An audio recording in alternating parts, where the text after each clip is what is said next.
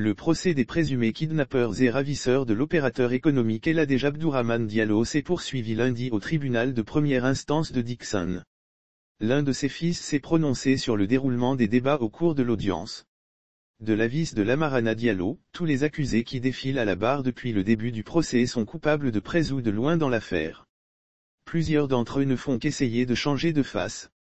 Il révèle que le cerveau présumé Eladej Mamadou Diallo était un voisin de la victime. Il peut être considéré comme un membre de la famille. Il habitait là-bas. Mon père le connaissait depuis qu'il est né. Il l'a vu grandir et y venait souvent avec des cadeaux, souligne-t-il. Eladej était notre voisin.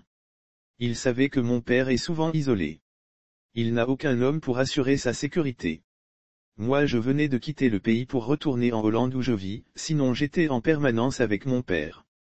On partait à la mosquée ensemble à l'aube je lui disais mon père d'arrêter d'aller seul à la mosquée en traversant des couloirs isolés, explique-t-il.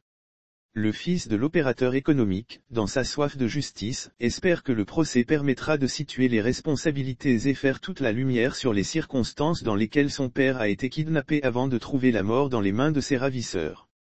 Eladej Mamadou était un voisin maudit. Il est parti en Europe, mais n'a rien eu là-bas. Quand il est revenu, il s'est spécialisé dans le banditisme. Quelqu'un n'a su faire du banditisme en Europe peut le faire partout, lâche-t-il.